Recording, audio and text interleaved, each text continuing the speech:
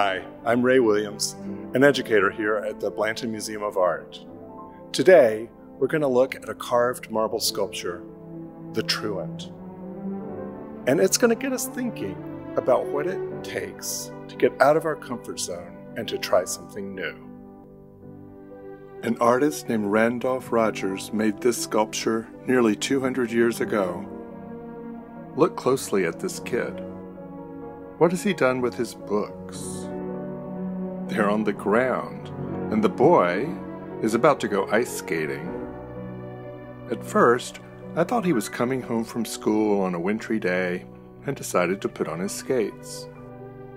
But when I learned that the artist called this work the Truant, I realized he's going to skate instead of school.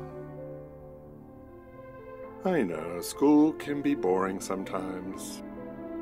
Being stuck at home can be boring too. I hope you're not one of those kids who sits around talking about how bored they are, though. One of the most important things we can learn is how to structure our own time in useful and interesting ways. Sometimes we have to choose to become interested and involved in something. Don't wait around for somebody else to entertain you, or park yourself in front of a screen. Try something new. Make a list of possibilities. Maybe looking at the truant has given you ideas about outside activities you can safely do. Probably not ice skating here in Texas. Did you notice the details on this sculpture? At this point in his career, Rogers was able to carve and chisel that white marble to create so many different textures. We can see the difference between snow and ice.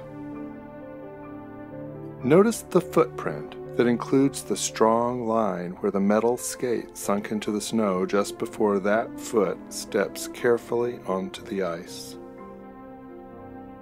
We see the leather strap around the books, the fabric of the cloak, even fleece lining around the edges to show that he's dressed warmly for the weather. He's holding onto a tree stump, and I can't tell if he's an experienced skater or a beginner. Being a beginner takes a bit of courage sometimes. We might be embarrassed about our early efforts, but that's part of the process for everyone. We'll get better if we practice, and generally, as our skills develop, our pleasure in any activity increases. For example, ice skating gets a lot more fun when we stop falling down and can do some fancy tricks. Randolph Rogers practiced until he had learned how to master the art of making stone look like a scene from life. He helps us envision life in another time in history and gets us thinking about our own situation.